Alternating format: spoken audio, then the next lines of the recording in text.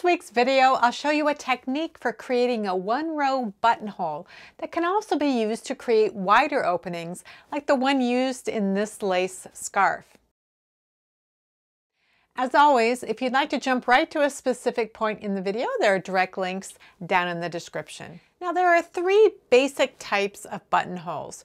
Yarn over buttonholes, which create small circular openings, vertical buttonholes, which create vertical slits, and horizontal buttonholes, which create, you guessed it, horizontal slits. Within each basic buttonhole type, there are lots of variations. For a horizontal buttonhole, the basic process is to first determine how wide the hole will be. That is, how many stitches wide it will span and also where it will be placed. Then, to create the hole, the typical method is to bind off the number of stitches required for the hole, and then to cast on an equal number of stitches above it. Now this is commonly done over the course of two rows, with the binding off for each hole done on one row, and then the casting on done on the following row. Today I'm going to show you how to do both the binding off and the casting on during the course of single row. After the demonstration, I'll show you what it looks like when used with various stitch patterns and offer some tips for how to use it. Finally, I'll show you some examples of the buttonhole used in several of my own projects. So let's get started. So I'm going to demonstrate in stockinette fabric so you can see the results better and to see what's actually happen, happening. Um, I'll show samples that were knit uh, using buttonholes in garter stitch and um, ribbing, but for right now, I'm going to knit four, create a buttonhole over four, knit four, create a buttonhole over four, etc. I'm going to do three of them. So I'm going to go fairly quickly through the first buttonhole. I'll go slowly through the second, and then I'll just go in normal speed through the third so you can see how it works in real time. So I'm going to knit four. And now I want to create a buttonhole over these four. And to create a buttonhole, what we're going to do is bind off these four stitches, and then we're going to cast on five stitches. Now the buttonhole can really be any width, um, but however many stitches you bind off, you cast on one stitch more than that. So here's how to begin. The yarn comes forward, you slip one as if to purl, and then the yarn comes to the back you slip one more stitch.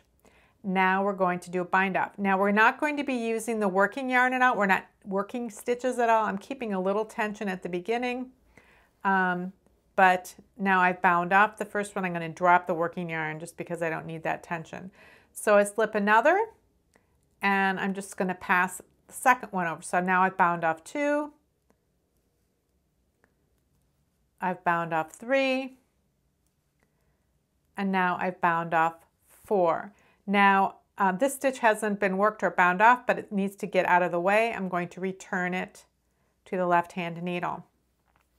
Now I need to cast on five stitches over the top of this. So those five stitches have to come onto this needle because the working yarn is, a, is that's, that's where the working yarn is attached.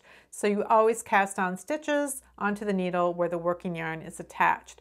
I'm going to turn the work, bring the yarn to the back, and then I'm going to do the cable cast on, which I'll explain in the next round, to cast on five stitches. That's one, two, three, four,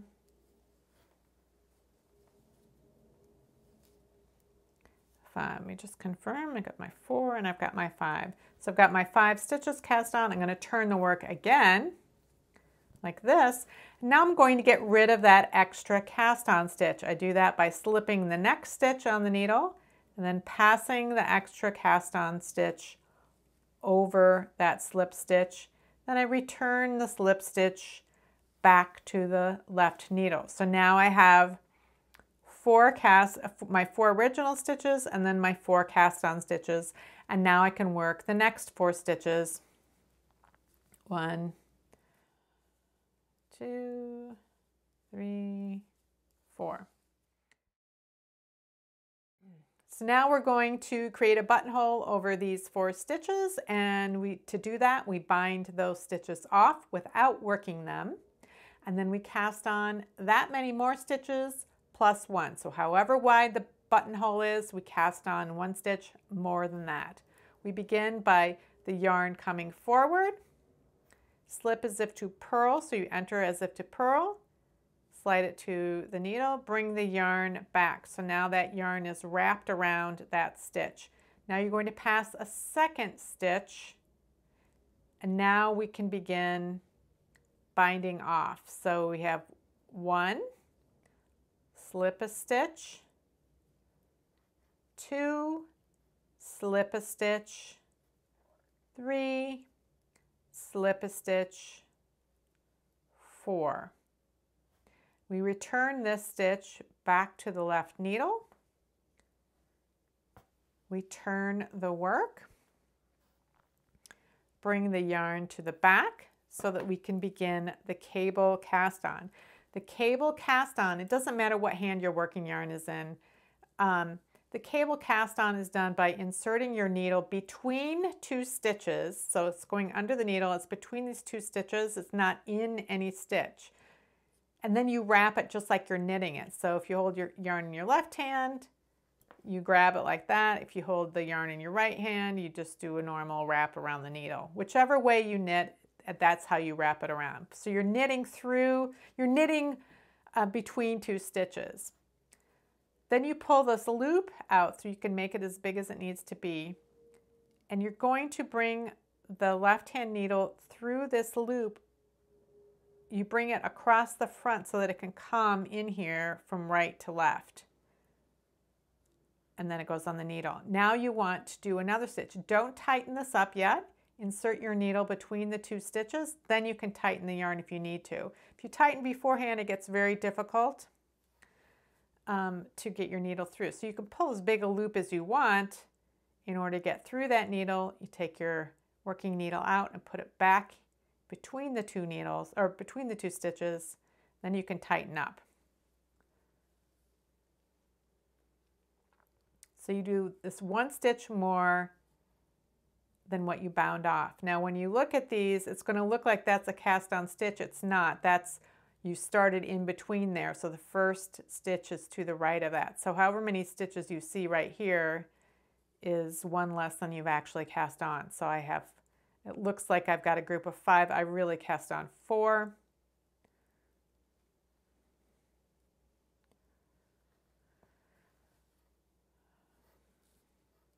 There's my fifth stitch. After I'm done casting on, I again turn the work.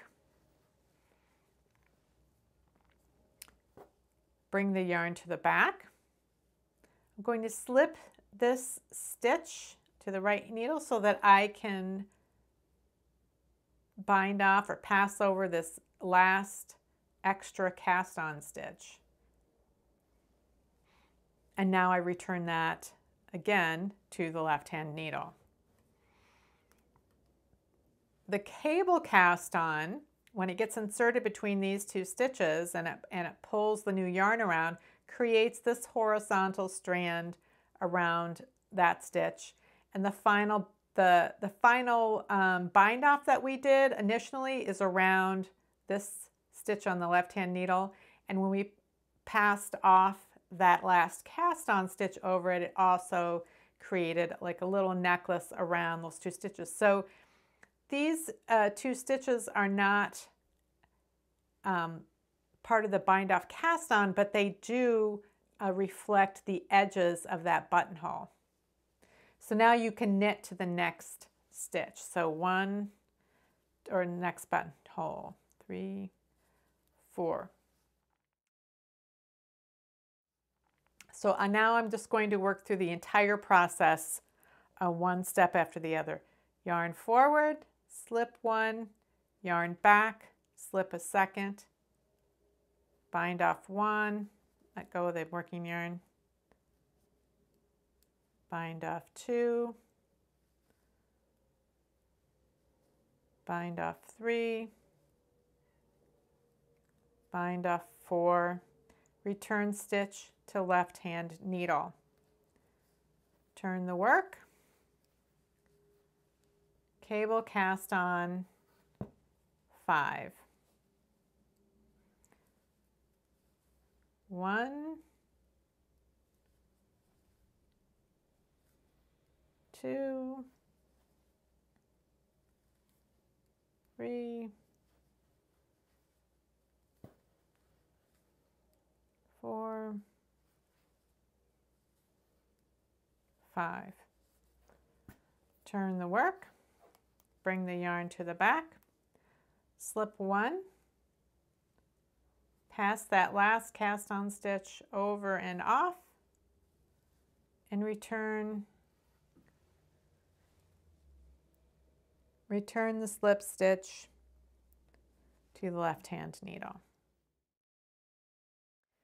So on the stockinette side, because the bind off chains roll to the stockinette side, this is not a great looking um, buttonhole necessarily on the stockinette side of the fabric, but on the purl side of the fabric, it does look pretty good. It's pretty invisible. I mean, you can see the hole, but otherwise the cast on method and everything hides pretty well. So if you have a, a project with reverse stockinette as the right side, this can work really well. You'd work the buttonhole on the stockinette side and, um, and then the result would look really good on the wrong side or the right side of the fabric. So on this swatch, I worked it in garter stitch. And on this, this is the side of the fabric where I, um, where I worked the buttonholes, but they look much better on the reverse side. So if you have a right side or a wrong side to your garter stitch, I would work the buttonholes on the wrong side of the fabric so that they looked better on the right side of the fabric. Um, as we saw before, the when you have a four stitch buttonhole, the stitches uh, to the outside on either side I have those horizontal strands wrapped around either because stitches were bound off over them or because the cable cast on um, was knit between um, stitches. So you can see how on this side of the fabric um, I worked the buttonhole in the second knit, the two purls, and the first knit, but those um, strands, those horizontal strands, surround the outer knit stitch and it kind of cinches in the, those columns of knit stitches. that doesn't look that great. But on the back side, where those knit columns are purl columns and then you have two knits up the middle, it actually looks pretty good. So again, I would arrange doing the buttonholes on the wrong side of the fabric and so that those um, wrapped stitches are in knit columns so that they appear on this side of the fabric in purl columns and it looks much better. So here's a project I'm working on right now. It's just a rectangular uh, wrap that is held around the shoulders um, with using a, a buttonhole. This is just marking my rows. Uh, it's kind of a fuzzy yarn and so the detail around the edges isn't that obvious. So this is something that's showing up on the right side of the fabric, um, but I wanted a very sturdy buttonhole because this will this wrap will be going around the shoulders and with closed with one button and I, um, I wanted it to not ever fall out. So I thought a very sturdy buttonhole would be helpful. Now, this is the scarf I was wearing um, at the beginning of the video, and this was knit uh, in two different directions. It was the, the scarf was cast on using a provisional cast on right here. The entire scarf was knit in this direction, the chevron pattern ending the scarf and creating that nice zigzag here. So I wanted the same end at this end of the scarf um, so that I get that same zigzag, which I wouldn't get defined like that if I had cast on in that direction. So I returned to right here, then I, I knit this garter border. I knit across the right side and then across the wrong side to create that um, garter ridge. And then I knit across a row. I, I knit up to here. I did the one row buttonhole finish the knit row, and then I begin this lace, this lace pattern. This lace pattern begins with a wrong side uh, row uh, purled across, and then I can begin the decreases and increases for the lace pattern.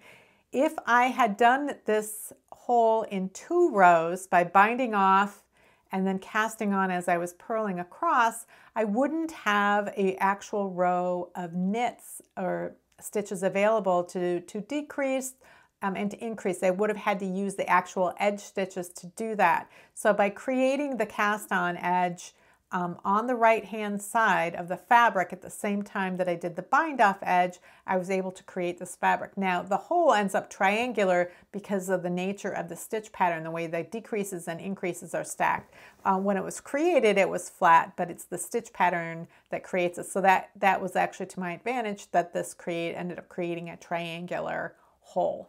Once you've worked the buttonhole several times and understand the the process, it's fairly straightforward, but it can be tricky to get the hang of it at the beginning.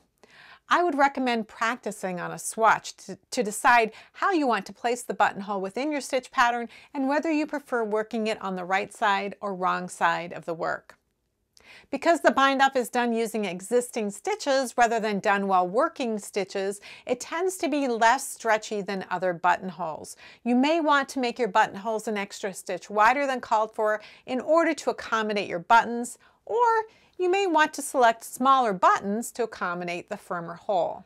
I don't use the one row buttonhole every time I need a buttonhole, but in certain situations, it's the perfect technique for a specific project. If you have any questions or comments about this video or suggestions for videos you'd like to see in the future, you can leave those down in the comments below, or you can join the discussion in my Ravelry group, Rox Rocks, and there's a link to that down in the description box. Last week, I uploaded my first Casual Friday video. Instead of demonstrating a technique on Casual Fridays, I'll be talking about knitting and knitting related things. If you want to hear the story of how I learned to knit, you can click up here. If you aren't already a subscriber, you can click on my face over there. Thanks for watching, and I'll see you next time.